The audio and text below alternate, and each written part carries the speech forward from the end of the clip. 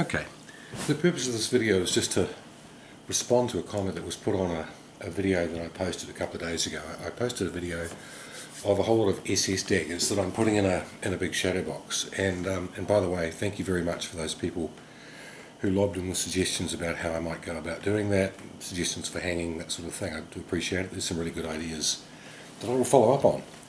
But there was a comment posted this morning which kind of got my attention, and it was somebody who said, well, great lineup of daggers, but it's it's almost certain that there's a couple of fakes in there. And initially, when I when I read that, I just I just bridled and thought, oh, for Christ's sake, it's just some wanker being being negative. But I don't think he was actually. I think he, he had a good point.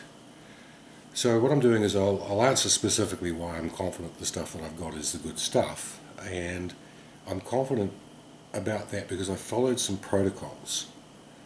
And I think that these, if we can call them protocols, rules if you like, that I think if, if people follow in their uh, area of collecting whatever it is, will go a long way to protecting you from the fakes and the fraudsters.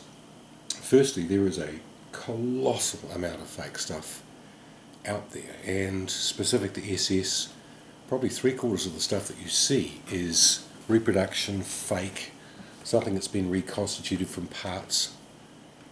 Same with the Fallschirmjäger gear.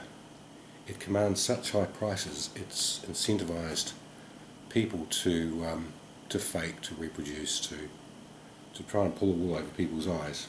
So the guy's got a good point, and I just want to run through the things that you can do and should do in order to protect yourself. Now, firstly, stay off eBay. If you're looking at, at items that are more than a couple of hundred bucks, then you've got to be very, very skeptical and very, very cautious. There's a tremendous amount of schlock on eBay. A lot of it was initially manufactured as reproduction. It was never intended to be passed off as original, but over time, with a bit of weathering and a bit of judicious application of one thing or another, it can be made to look very, very convincing and trap the unwary. And that applies even more to iOffer, which is, a, I believe, a European um, auction site. There's a lot of stuff on that one from Eastern Europe, and you have to be extremely cautious about anything that comes out of Eastern Europe. The Baltic states, Czechoslovakia, or Russia. Um, there's a very sophisticated group of fraudsters there that have been working for some considerable period of time they have access to stuff that, particularly Czechoslovakia, stuff that was used post-war by the Czechoslovakian army that they'd taken as war surplus from the Germans. It's been reconstituted, war insignia or copies have been applied, restitched onto the uniforms and they're being sold off as original. Paratroop helmets, the use the same pattern and with a bit of judicious weathering they can be made to look uh, very, very convincing indeed. I've actually got a fake one I got burned a couple of years ago. So be very cautious about those sites. If it's a, an item that's only worth you know a couple of hundred bucks, you're probably going to be okay because there's not really that much of an incentive for people to have faked it. But just be aware there will be people passing off what they know to be reproduction as the real McCoy, and the minute you push push the purchase button and then push the send button from your bank account or iPay or whatever the hell it is, uh, you've done your dough.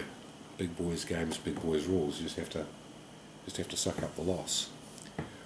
With the daggers, I have a protocol, which I'll talk about now, that you can apply to anything.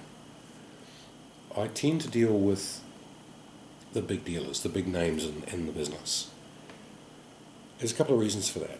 One, it, it's generally the big boys that have the big toys. The high-end, expensive items, generally in the hands of people like Bill Shea from Ruptured Duck, Tom Wittmann, Tom Johnson, Jason Burmeister, um, Steve Wolf.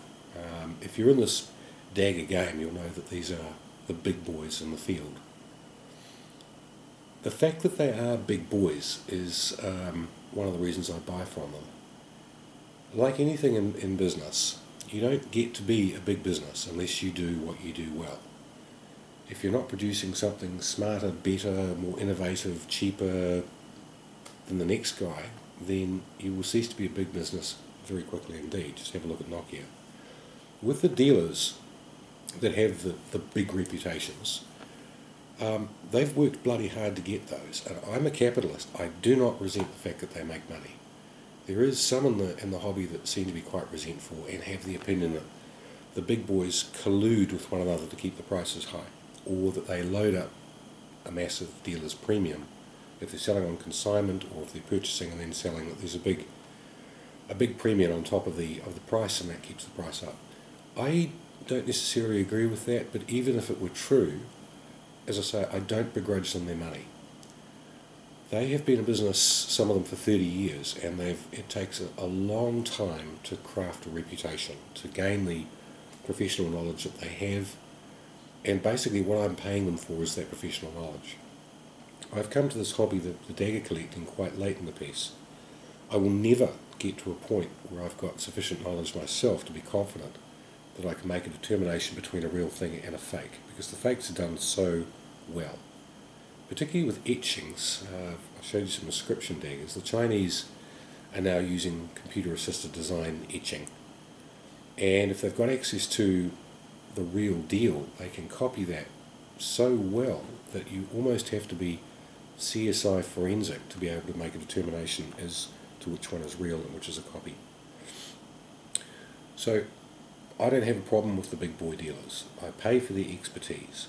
In New Zealand we just don't have the number of shows nor the number of militaria items to hand for me to be able to go around and actually have the things in hand with somebody that knows what they're talking about teaching me about what to look for because the devil's in the details. Obviously there's there's reference books like Tom Wittmann's books. They're fantastic but they only go so far. You need to have the real deal in front of you and as important you need to have that perhaps next to a fake item so that you begin to learn what to look for uh, and, and, make a determination about what's real and what's not. I'm never going to have that opportunity in New Zealand. We just do not have the volume uh, or the opportunity to, to get that kind of knowledge. So I am paying a premium to some of the big dealers with very good reputations. They've done the homework for me. They've done the hard yards in making a determination, and that's what I'm paying them for. The other thing that I, I suggest you do, and this is, again, it's not specific just to daggers, but if you join the forums, there, there are some excellent online World War II forums. I'm a member of two. One is called Wehrmacht Awards Forum, and the other is called War Relics. One Wehrmacht Awards Forum tends to be populated perhaps a little bit more by Americans. War Relics tends to be a little bit more European, but there's a, there's a great deal of cross-fertilisation. A lot of guys are members of both. The forums offer you a number of, a number of benefits. Firstly, you learn a lot, but more importantly, they are populated by some of the most expert people on the planet.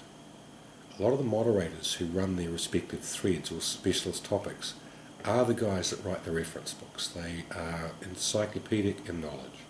And along with them, there are guys who are amateur, you know, inspired amateur enthusiasts who've spent their entire lives studying whatever niche we're talking about. They've got tremendous expertise. What you should do, if you're contemplating making a purchase and spending a bit of money, you should get good quality photos from the dealer, from the dealer's website, and post them to the forums. You will have hundreds of pairs of eyes on the things. And the people that are looking at the stuff that you're contemplating buying are people that can spot a fake at 50 metres. They've got that kind of knowledge. So it's an extremely good filter. Um, even if you if you trust the dealers that you're you know you, you, that you've been dealing with, even them uh, I still take the items that I post on the forums because the dealers themselves are not infallible. From time to time they get it wrong. So the forums are a great filter. It's also a place where you can buy and sell. A lot of people sell good stuff on the on the forum for sale section.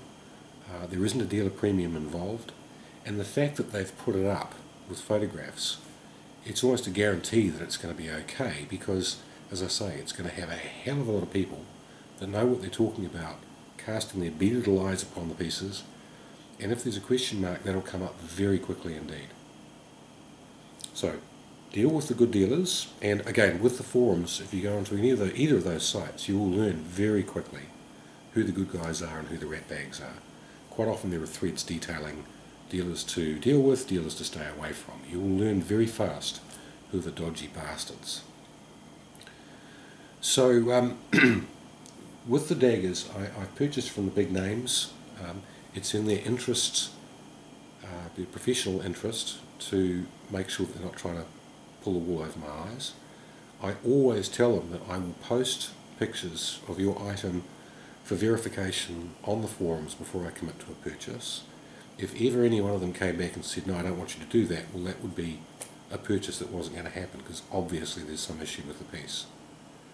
The dealers, the big dealers also generally have pretty good money back guarantees or return policy. If there's a question mark, you'll get your money back or at the very least you'll get a credit. Most of the good ones offer unconditional money back. You've got an inspection period, you're not happy, return it and um, they'll refund you.